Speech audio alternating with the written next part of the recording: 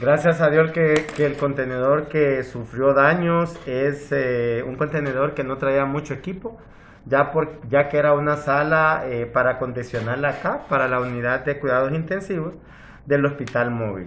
Ya ahorita van a trasladar el contenedor a lo que es uno de los parqueos de acá del hospital para posiblemente reparar.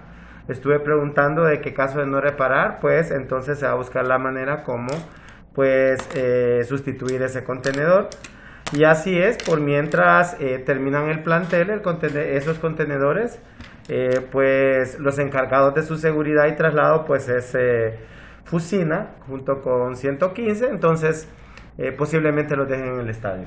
¿Qué pasó con el plantel, doctor? Porque hace muchos meses que hemos visto que maquinaria, compañías están trabajando en ese plantel y se suponía que ya estaba listo.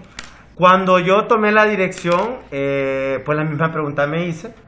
Eh, la, eh, desafortunadamente, pues no logré comunicarme con la gente de Inves.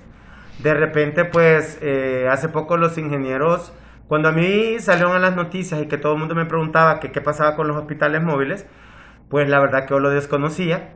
Y por ende, luego se comunicaron conmigo y entonces cuando ya me dijeron que venía para acá, que, que dentro de poco iba a estar, yo les dije que yo no lo podía recibir porque no teníamos las condiciones físicas para hacerlo. Luego a los tres días comenzaron a llegar los ingenieros y ya el día de hoy que me reuní con ellos por la mañana y que ya me explicaron y estuve viendo la obra, pues eh, creo que sí debe estar dentro de poco. A mí hasta el momento no me han hecho un escrito, no me han dicho viene esto, viene lo otro, vienen estas condiciones. Vamos a ver al momento de que lo entreguen.